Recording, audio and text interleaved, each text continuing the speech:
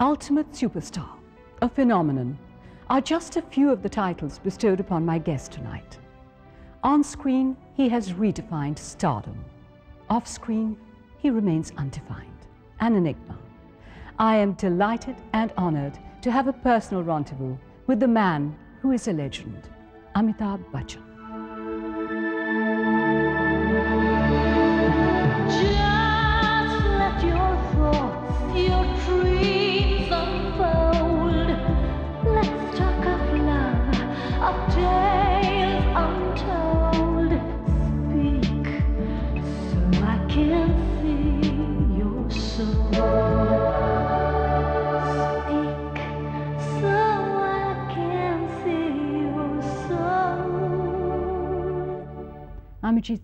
Happy to have you here. Thank you so much for accepting my invitation. Thank you for having me. The first chapter of your father's autobiography is entitled Kya Bhulu, Kya Yaad Karu. And that's my dilemma today. What shall we forget? What shall we remember? But what I remember very clearly about you is that, do you remember when we used to meet before, before your phenomenal success? hmm I recall that even though you were struggling, you, you seemed to enjoy people and life more than you seem to now. You laughed easily. You made others laugh a lot as well. I've been wanting to ask you, what happened to that Amitabh? It's still there, very much. Um, I think the laughter and the and the uh, and the informality that you so uh, vividly talk about has uh, has remained with me. Uh, it's a part of me. If it was there then, uh, it can't possibly vanish. I, I see a big change in you from uh, the early 70s. It's a big change in your personality. Huge. No, I don't believe. I'm telling you. You don't look as happy as you did before. Oh, I, I think that's um, th- that's not entirely correct. Um, I think it happens with any human being. You know, when you're younger, you have uh, you have fewer responsibilities. You have uh, so many more things to be free about, about happy about. As you go along, your your, your responsibilities increase your, in your work, your your social responsibilities, your family responsibilities.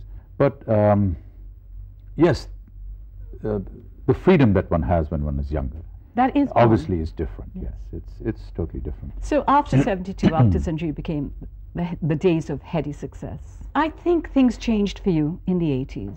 That was a time of trials and tests, wasn't it? Well, I'd like to believe that every day is a time of trial and test as far as I've been concerned. You feel that Oh yes, sure. Yes. every day? Every day, even now. That's a burden to carry.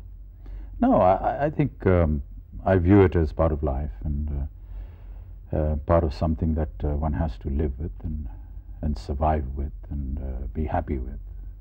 I look at it very positively. It's not uh, it's not a burden at all.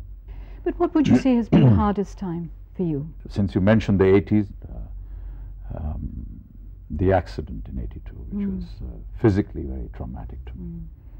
Mm. um, um, the whole uh, political imbroglio, which was uh, somewhat traumatic physically, but more uh, mentally traumatic. Um, yes, I, I guess these two would be the two very prominent, publicly known incidents. I, I'm sure that there must be several others, but Tell me about that political experience. I, uh, I'm not a politician. I was, I was never one. It was an emotional decision to uh, Mm. get into politics. Uh, the fact that mm, Mr. Rajiv Gandhi and his family uh, and our family had been known to each other and shared a, a friendly relationship over several years and uh, prompted me to um, want to stand by a friend.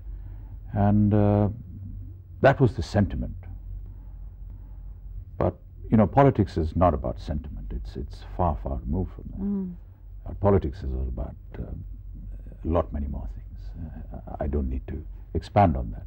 And obviously, I was not qualified for that. I was uh, an absolute novice.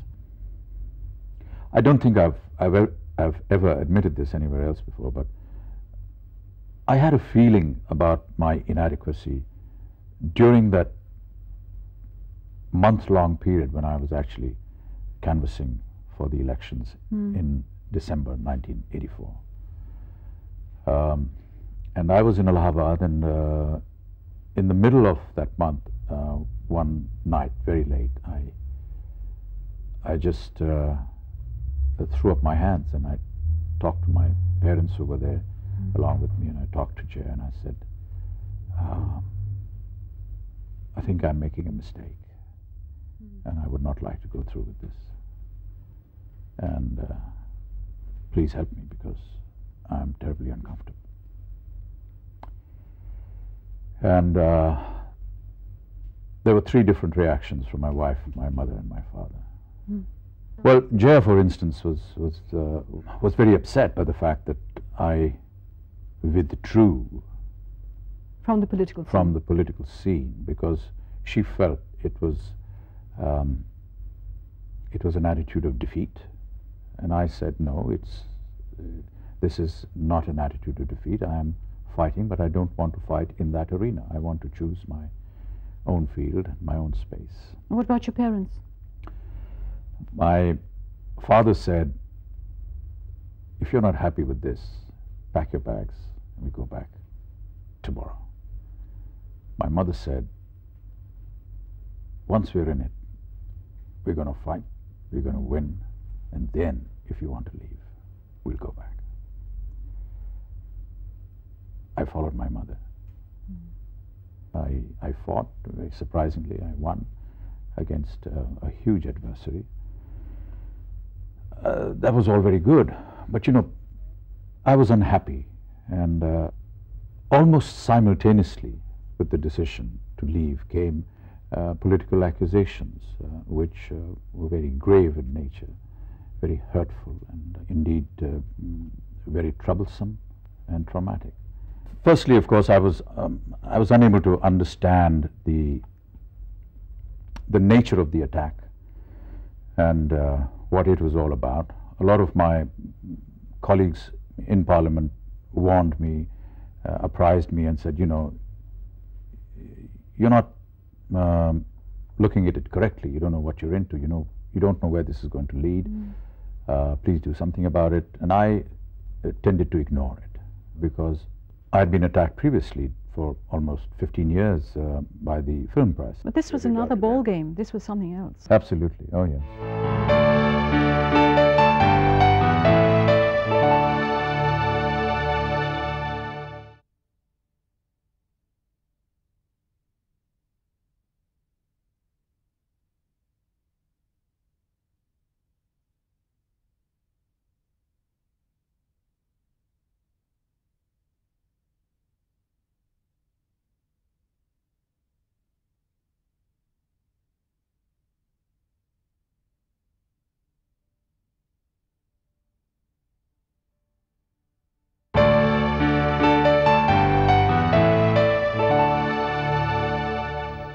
Have very short memories. Uh, but I was looking through the papers of the 80s, the early 80s and the 90s, and I was amazed by the assaultive publicity that you received. If I was amazed, you must have been shell shocked. There was a lot of venom and calumny, and all the allegations, the insinuations. What did it do to your peace of mind? Well, it's, it's, it absolutely shatters and destroys your peace of mind. I, uh, I'm really fortunate and happy that I can smile about it and, and talk about it today, but I know for sure that when it started and during the time that it used to happen, it was, uh, it was, uh, it was a, it was a hell. It was hell because you, um, you lay awake the whole night um, wondering what the morning papers would bring. And um, you were the first person to get up, and never have I ever waited so patiently for the uh, the guy that delivers the papers than during those times, because uh, you wanted to see where the new attack was and where the abuse was and uh, how damaging it was to your system. But I think, you know, life is, uh, eh, and the human body is such a wonderful um, structure that we are built to uh, take a lot of pain, a lot of um, damage, and uh, still be able to uh, come out of it uh, alive, smiling, kicking. Even though at that time we feel that this is the end of the world. Absolutely. Oh, yes. And I will never be able to survive this. Absolutely. Somewhere, somehow, you get the energy. How can how can you forget when you when you call your son and he says, uh, "Dad, uh, hang in there and fight. We're with you." Uh, it's an emotion that just drives you to take on the entire world, which is what I was ready to do at that point of time. I recall that you wrote some poetry. It revealed, I think, the poetic spirit of your father, which you've inherited. I'm going to read it out to you. You might have forgotten it. May 3rd, 1987. Many battles have I fought in my life. I have battled for my existence, battled for my success, battled against death. But this battle which I fight now is unique. It is a battle which I must confess I've already lost. And then you go on to say, I must begin first with a confession. The media has beaten me very comprehensively. They have succeeded in tarnishing my image and defaming my character to such an extent that henceforth, whatever I may have to say in defense or in denial, shall never be accepted as the truth. The damage has been done. And then you go on later. Having thus fulfilled your journalistic deed, have you really cared to look back and see the spoils of your attack?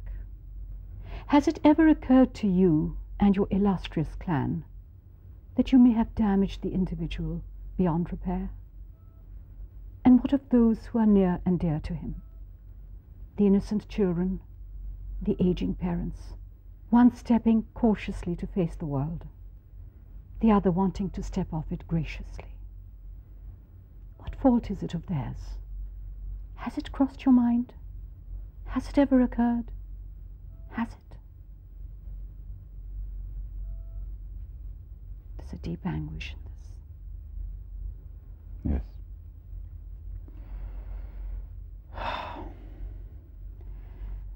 Um, that that's what I went through during that time. You know, they they were they were terrible times. Uh, you did fight, and you fought back.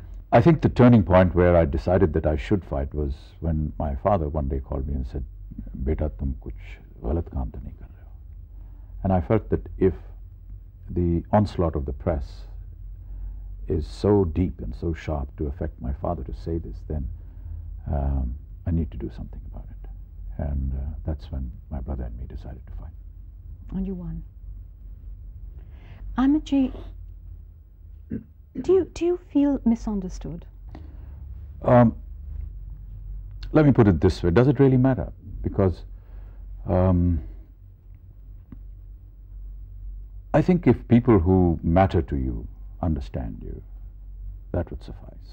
But I think uh, being misunderstood and being understood has been important for you, which is why you wanted to clear up your name and uh, against all those the Bofors allegations. Absolutely right. Yes, I did. No, Because it was an attack on my character, on my honor, on the honor of my family, and the name of my family. Yeah. And I felt it uh, my bounden duty as the son of my father and the son of my mother to do that. That was the driving force. If I'm going to feel as strongly as that in any other episode, I shall happily repeat that thing. So tell me, do you think this is in a way your second innings? if you like to put it that way. Do you feel that? I won't fight it. Do you feel that this comeback is almost as tough as the debut that you made? Oh yes, now now that I look into it, it's it's it's worse than that. Why?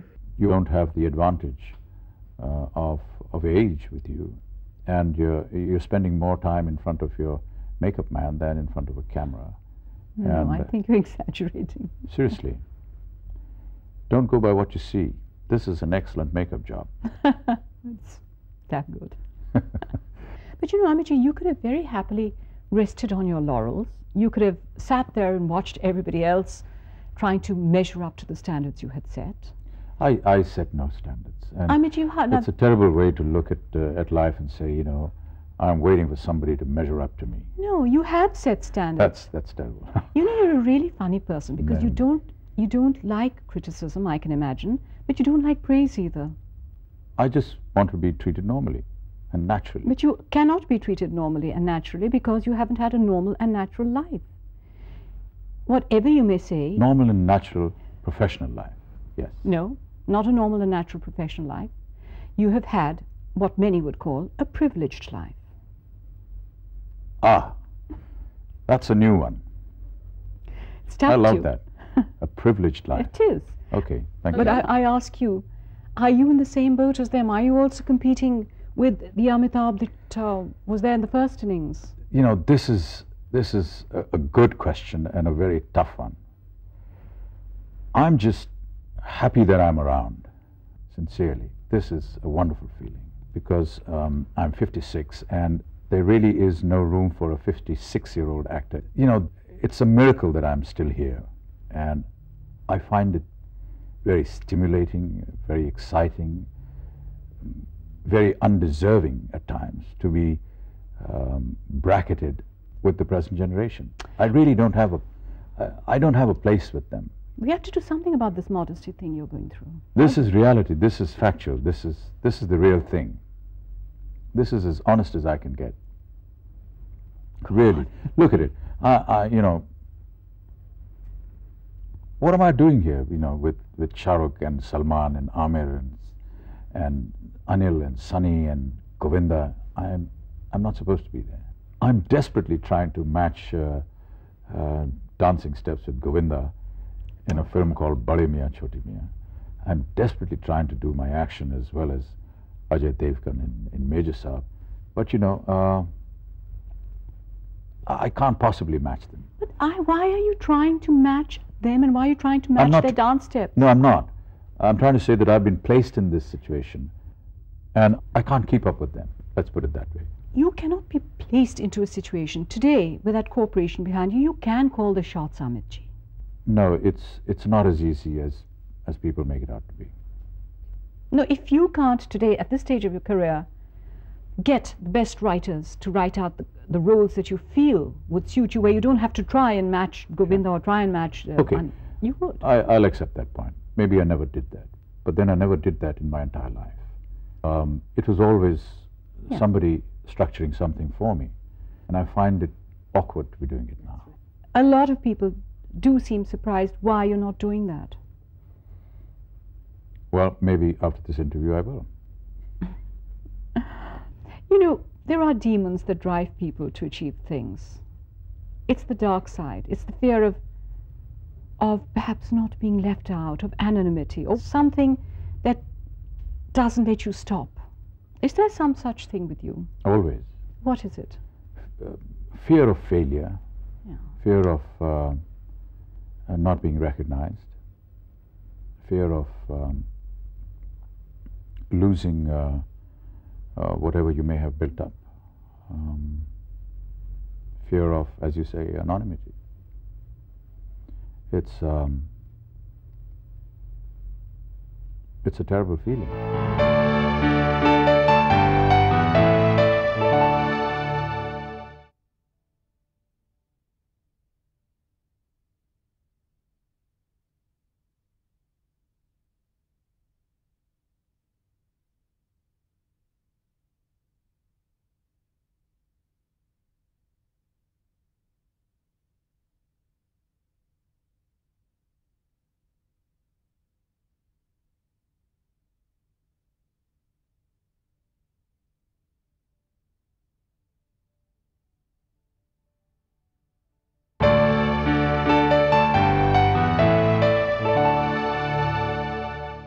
Find confusing about women?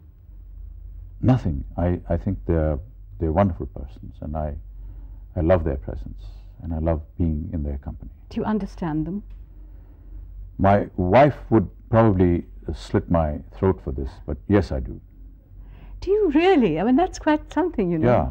Can you predict what their reactions will be? Yes, I can. Like how? I can't tell you that because you know I'd ruin my association with you. Try. I, you know, I want to be a friend of yours. You are my friend. I don't want you to pick up that lamp and slobber me Is it such a bad thing I'm going to say? Okay, tell me then, what are the qualities that you like most in a woman? Um, a bit, a bit of conservatism, some traditional qualities, something more trendy, more with it. Someone you'd like to protect. Men feel wonderful when they are protective about women, physically, emotionally. Uh, someone you'd like to work for, 22 hours a day. Someone you'd like to bear your children someone you'd like to share moments of the children growing up with. When they get married, the children, to share that moment. And then the grandchildren. It's, um, it's someone that you want all the time around you, not necessarily physically. You may be thousands of miles away, but you should feel her presence next to you. You've also said that I like women to take charge of me, hmm if they're qualified for the job, that is. Sure. What qualifications are necessary for the job? Ah, I wish they could just manage my day for me, you know. Mm. Wake me up, tell me where I have to go, what I have to do, give me a good meal, and just take care of my house, make it look beautiful. No point uh, any applications coming because there's no vacancy. so. One rumor that comes up, like a virus every few years, is your link up with Rekha. hmm Why does that happen? What generates it? Ask the people who generate it, Who generates it? the media. Is it just the media, you feel? Well, if there's somebody else, uh, I must be made aware of it. Do you do you ever meet each other? She has been uh, my uh, my co-star and colleague, uh, and when we were working together, uh, obviously we met each other. Um, socially, we have nothing in common. That's about it. You haven't met each other since. Yes. I mean, sometimes we uh, bump into uh, each other at a at a function which is, uh, you know, where an award function, for example, or at a social gathering. But that's about it. But there's been no interaction No. since you stopped working together. No, we haven't worked for, for donkey's years. And there's no social interaction. Not at all. Do these rumors bother you? No. I faced these accusations month after month. But um, quite honestly, some of the more recent accusations have been rather ridiculous. Um, there were claims that I had moved in with her in her house and that she'd moved into my house, and they had photographs of, of that house where I'd uh, been keeping her, so to say, uh, which is just a big joke. That house uh, is mine. My family stays there. My ailing parents live there. I look after them. I think it's it's terribly insensitive of the media to post these accusations over me without any kind of verification, without any kind of truth. I would like to ask some of them whether they have actually seen me uh, doing something immoral or something unacceptable with the concerned lady. I would like to ask them, when was it that you saw the, two of us together, which gave an impression to you of uh, any kind of link up? Behind the stoic exterior, what lies there? There lies a human being, which is as normal as anyone else, uh, who has uh, human feelings, uh, feelings of love, of pain, of joy, of sorrow, uh, much like any other human being in the world. Yeah. Well, you made this into a very special evening for me. Thank you so much for coming, and thank you for this rendezvous. Thank you.